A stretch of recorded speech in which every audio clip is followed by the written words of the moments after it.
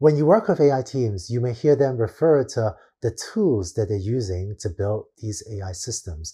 In this video, I want to share with you some details and names of the most commonly used AI tools so that you'll be able to better understand what these AI engineers are doing. We're fortunate that the AI world today is very open and many teams will openly share ideas with each other there are great machine learning open source frameworks that many teams will use to build their systems. So if you hear of any of these, TensorFlow, PyTorch, Keras, MXNet, CNTK, Caffe, PaddlePaddle, Scikit-learn, R, or Weka, all of these are open source machine learning frameworks that help AI teams be much more efficient in terms of writing software.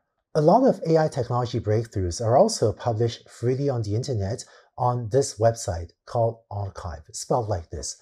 I hope that other academic communities also freely share their research since I've seen firsthand how much this accelerates progress in the whole field of AI. Finally, many teams will also share their code freely on the internet, most commonly on a website called GitHub. This has become the de facto repository for open source software in AI and in other sectors than AI, and by using appropriately licensed open source software, many teams can get going much faster than if they had to build everything from scratch. So for example, if I search online for face recognition software on GitHub, you might find a web page like this.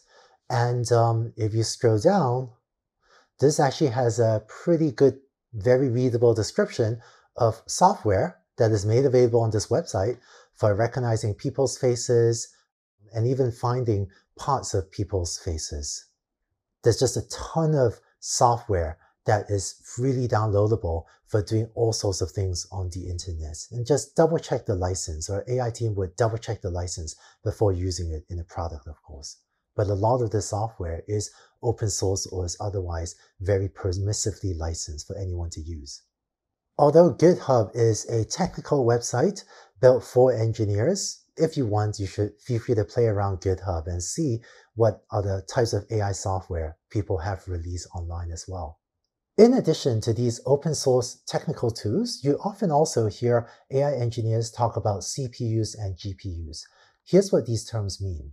A CPU is the computer processor in your computer, whether it is your desktop, your laptop, or a compute server off in the cloud. CPU stands for Central Processing Unit, and CPUs are made by Intel and AMD and a few other companies. This does a lot of the computation in your computer. GPU stands for Graphics Processing Unit.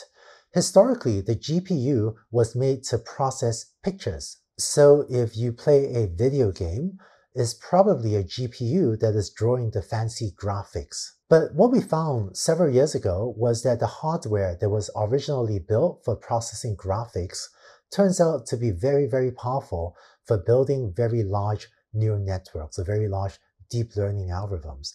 Given the need to build very large deep learning or very large neural network systems, the AI community has had this insatiable hunger for more and more computational power to train bigger and bigger neural networks. And GPUs have proved to be a fantastic fit to this type of computation that we need to have done to train very large neural networks. So that's why GPUs are playing a big role in the rise of deep learning. NVIDIA is a company that's been selling many GPUs but other companies, including Qualcomm, as well as Google making its own TPUs, are increasingly making specialized hardware for powering these very large neural networks. Finally, you might hear about cloud versus on-premises, or for short, on-prem deployments.